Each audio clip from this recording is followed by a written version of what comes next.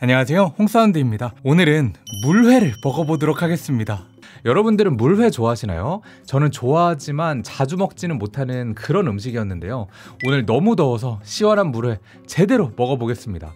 그런데 한 구독자분께서 물회랑 족발을 같이 먹으면 그렇게 맛있다고 추천을 해주시더라고요. 그래서 생각을 해보니까 이 족발에 막국수를 같이 먹으면 진짜 맛있잖아요 그래서 물회 양념은 당연히 잘 어울릴 것 같기는 한데 과연 회랑 족발을 동시에 먹으면 어떤 느낌일지 궁금해지더라고요.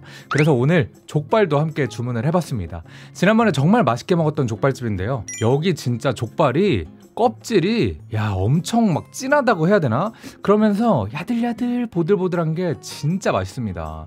저희 아내가 껍데기를 잘 안 먹는데 여기 거는 진짜 잘 먹어요. 아쉬운 점이라고 하면 프랜차이즈가 아니라서 청주에 오셔야만 드실 수 있다는 거. 그리고 물회를 시키면서 연어초밥도 같이 주문을 했습니다. 왜냐하면 저희 첫째가 먹고 싶다고 해서요. 그래서 입맛을 돋을 만큼만 조금 가져와 봤습니다. 비주얼 진짜 너무 맛있어 보이지 않나요? 자, 그러면 얼른 먹어보죠. 연어초밥 먼저.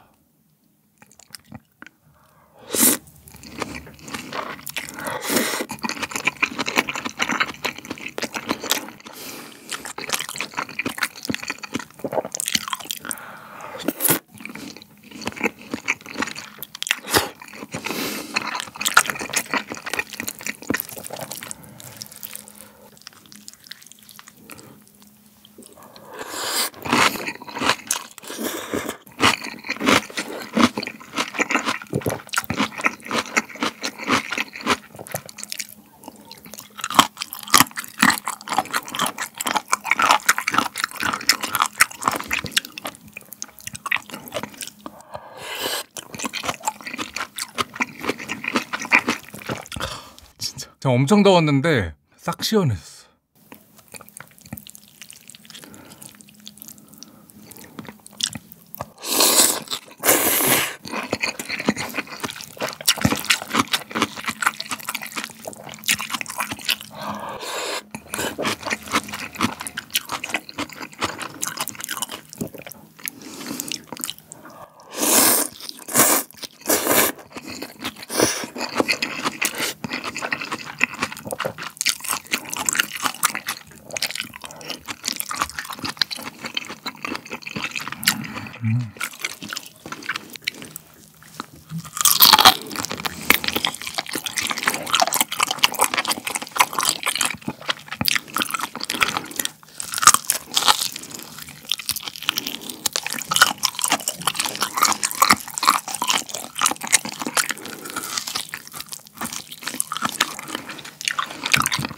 아니 껍데기 야들야들한 게 소리만 들어도 엄청 느껴지지 않으세요?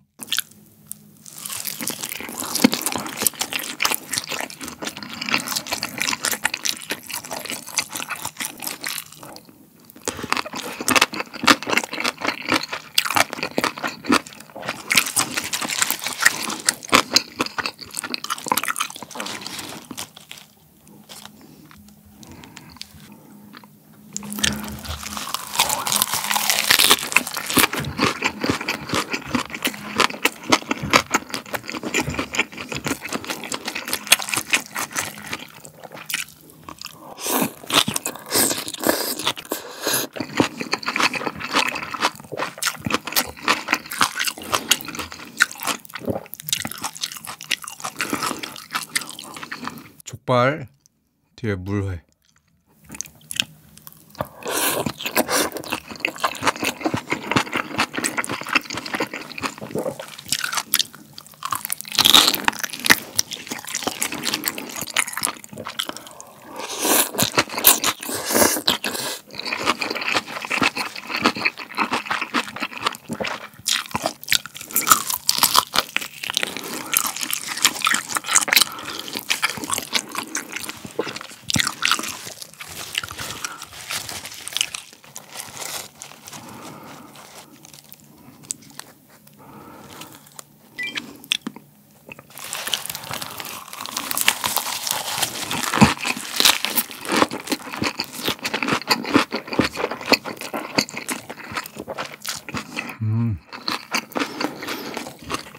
어, 지금 물회랑 족발 조합이 나쁘진 않거든요. 족발의 막국수 역할을 물회가 하니까요. 근데 왜 이 돈 주고 이거를 이렇게 섞어 먹어야 되지? 이런 생각이 드네요. 처음에 한 입 두 입 먹을 때는 어 막국수 느낌? 어 그냥 뭐 예상했던 대로 잘 어울리긴 하네. 근데 조금 전에 회랑 족발이랑 쌈을 싸 먹었잖아요.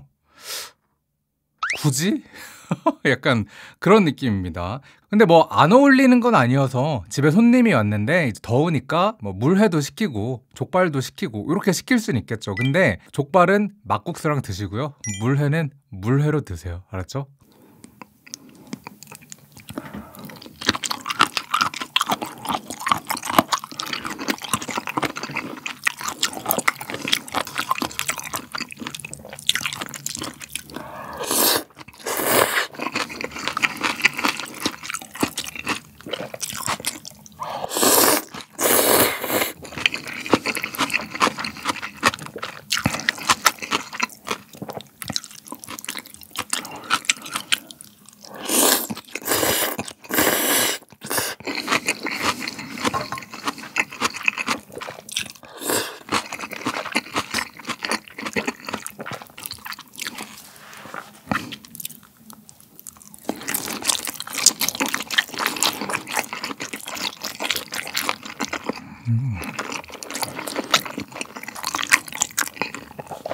아니 근데 이제 껍데기가 진짜 맛있어요.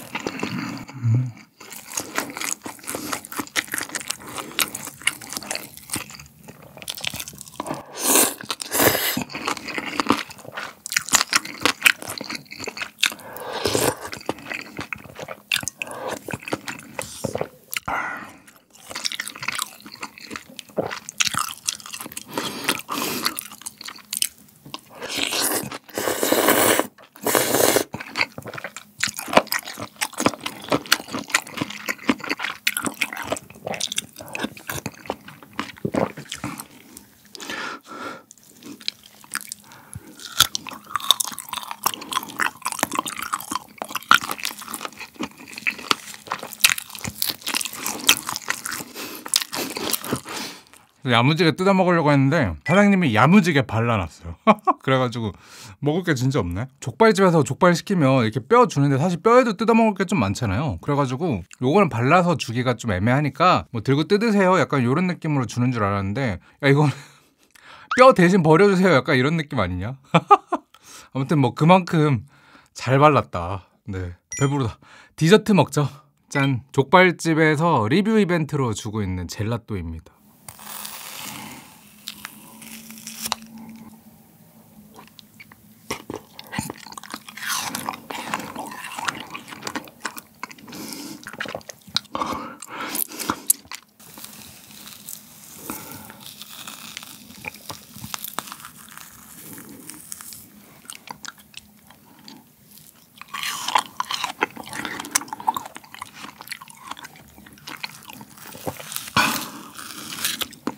아 근데 이거 소리 왜 이렇게 좋아? 진짜 오랜만에 약간 ASMR 찍는 것 같은 약간 그런 느낌인데요?